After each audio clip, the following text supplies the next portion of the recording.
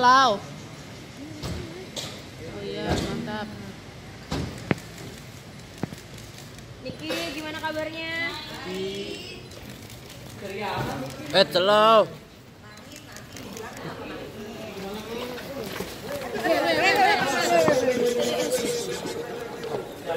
Dalam aja kali, dalam. Itu kaca pecah nanti gua kena ganti. Masuk dulu.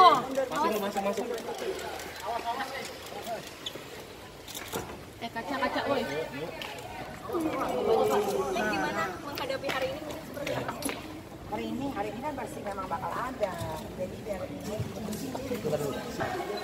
sekarang kan karena temen-temennya yang siapa Alhamdulillah banyak banget ada Ko Ruben, Papi Uya, Bunda Astrid Mbak ini dari Teresa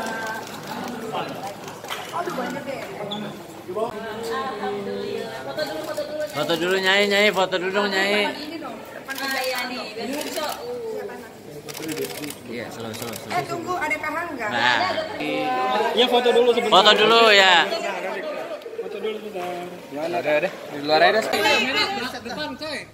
Nyai, Nyai. Niki kirinya dong ya. Handphone dong, handphone. Siap, siap. Insert turun. Yo, yo, yo. hari ini Niki diberikan pulang itu yang pertama yang kedua saya ucapkan alhamdulillah lagi saya barusan dapat informasi persoalan gugatan Niki yang dimenangkan di Pengadilan Agama Jakarta Selatan yang dibanding ternyata yang banding ditolak jadi Niki menang lagi pada tingkat pengadilan agama dan pada tingkat pengadilan tinggi agama. Jadi dua berita sekaligus hari ini. Yang pertama alhamdulillah boleh dipulangkan. Yang kedua dia menang lagi dalam perkara terkait dengan perceraian. Dipulangkan sebagai pulang Bebas murni. tahanan kota pertimbangannya apa sih bang? Mungkin pihak Kalau pertimbangan itu jelas kita ajukan. Jadi di dalam persoalan eh, menahan seseorang atau tidak itu pasti ada unsur subjektif dan objektif. Jadi unsur subjektifnya itu apa, unsur objektifnya itu terkait dengan pasal. Jadi kami ajukan permohonan dengan jaminan-jaminan bahwa kami menjamin bahwa Niki tidak akan melarikan diri dan sebagainya. Itu permohonan diajukan oleh Niki dengan lampiran segala macam. Kita sampaikan bahwa ini seperti ini loh kejadiannya supaya clear masalahnya. Jadi kami ajukan permohonan, saya menjamin, Kak Fitri menjamin, semua ada beberapa orang yang menjamin, sehingga itulah menjadi pertimbangan akhirnya Niki dibolehkan untuk pulang. Alasan anak sendiri juga ada bang. Ya itu adalah bagian. Jadi sebetulnya penahanan itu adalah hak ya dari eh, jaksa penuntut umum karena ini dalam proses tahap 2. Tapi di dalam eh, KUHAP itu ada unsur subjektif dan objektifnya. Objektifnya pasalnya, yang subjektifnya ini adalah bagaimana menilai seseorang. Kami jelaskan bahwa ini loh ada miss. Kami jelaskan semua, ini loh jaminannya, ini loh permohonannya, ini semua KTP kami semua saya penjamin sebagai advokatnya Alhamdulillah permohonan itu dikabulkan sehingga Niki boleh pulang Nik, tanggal 3 sebagai tanggal yang spesial nih buat. Niki. Gimana Nik? nggak tahu speechless aja pas banget soalnya kabar dapat kabar eh, dapat boleh pulang sama tanggal tiga ternyata menang lagi padahal dia udah kasasi banding ya alhamdulillah sih bersyukur Tiga hari selama di dalam mungkin pelajaran yang Niki ambil. nggak ada pelajaran hikmahnya nggak ada hikmah. Masuk aja kalau gua mah. Biasa ya.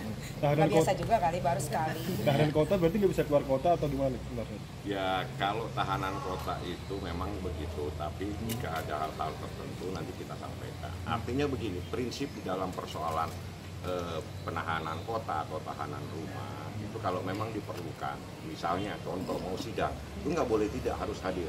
Misalnya dibutuhkan di pemeriksaan itu tidak boleh tidak harus hadir nah itulah maknanya di situ Bang, tapi prosesnya termasuk cepat juga bang ya untuk mengurus artinya tahanan kota terus bisa di Ya berkat doanya rekan-rekan semua. Kami terima kasih banyak buat rekan-rekan media yang selama ini mensupport, selama ini yang membantu kami, mendoakan Niki dan sebagainya lah. Kami ucapkan banyak terima kasih atas nama Niki dan rekan-rekan semua. rekan-rekan media sangat sangat membantu kami. Hal yang pertama yang mau Niki lakuin mungkin Syukuran atau gimana? ketemu Aska karena dia dari kemarin kangen minta dijemput Aska kan diamanin. Takutnya eh, si kepala botak itu tiba-tiba muncul ya kan? Soalnya kan ibunya lagi di dalam nggak bisa ngapa-ngapain jadi diamanin. Sekarang mau ketemu sama Aska Tapi tahu nggak sih kalau dia lagi nggak tahu lah. Alasannya apa? Jauh? Pergi ke mana gitu misalnya? syuting syuting. Nah, tapi kan biasanya kalau syuting malam pulang tidur totonya bangun tidur eh, dia mau berangkat sekolah ada miminya kalau sekarang kan dia kaget kok nggak ada kalau dia kan di pesantren Ini soal pengadilan agama sendiri, pengadilan agama tinggi ya? supaya ada implikasi yuridisnya. Ini perasaan lu sendiri seperti apa ini? Nah ini yang penting. Hanya Sekarang. Iya. seneng lah gue ngasih waktu buat musuh-musuh gue tiga hari aja untuk bersenang-senang ya kan sekarang Nyai udah bebas gitu tunggulah istirahat dulu sebentar dari kemarin kan tulang-tulang gue sakit ya kan tidurnya nggak di kasur gitu kan ngajak anak juga nih di situ ngajak iya nggak ada gimana-gimana Arkan Arkana strong banget. Tiga hari di dalam naik berat badannya. Rewel. Kagak sama sekali. Semua sipir-sipirnya bapak-bapak penjaga di situ baik-baik lucu-lucu digendong-gendongi gitu. Niki kan abang mau jadi mediator yang ke sana yang apa-apa jadi mediator aja. Tapi kalau Niki kalau udah kayak begini saya tidak suka perdamaian. Nih, tahanan kota gak masalah tuh nih. gak ada masalah tahanan kota kita tahanan mana oh itu kakak yang jawab. Nih si, si botnya. Si bot. WhatsApp aku melulu kasar-kasar itu sampah. Nanti aja tunggu kan semua ada perhitungannya dari ucapan. Ini kan negara Republik Indonesia. Dia kan orang asing. Jadi nggak ngerti banget hukum di Indonesia kayak apa. Jadi akan melaporkan atau gimana? Tunggu aja. Kata Niki kan tunggu aja. Tapi dia bisa dapat video-video Niki yang marah-marah segala macam itu dari mana? Karena dia masih cinta.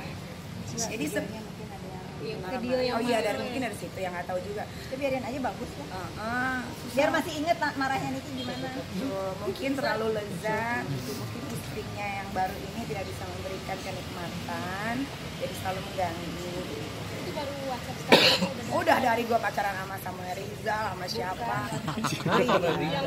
Oh Memilih.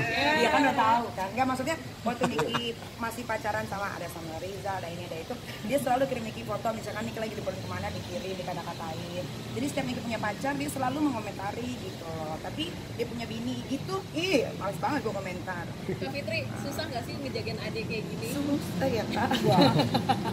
Tapi ini Kak Fitri best sister I ever had before. Terima kasih banyak.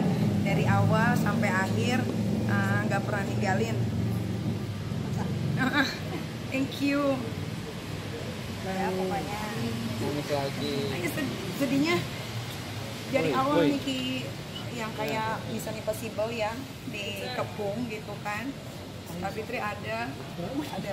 Nah, semua teman-teman Niki sahabat Kamen Rojak nggak pernah ninggalin Niki satu detik pun gitu. Jadi Niki kalau nggak ada Kak Fitri Niki juga nggak tahu gimana. Sekarang malah dia di sana juga kan. Makanya sekarang dia udah keluar makanya makanya Niki yang ketakutan sekarang mau diapain itu eh, virus-virus corona. Ya tapi tunggu aja thank you kak. Lihat sebuah support dari Bang Billy juga. Iya Bang Milik juga nih, aduh kita banget. Dan Malik, itu Billy, biar namanya udah ganti. Ya udah udah. Cukup makasih. Udah. Kayu sama aja. Kalau kecil aku cuma bisa support. doang.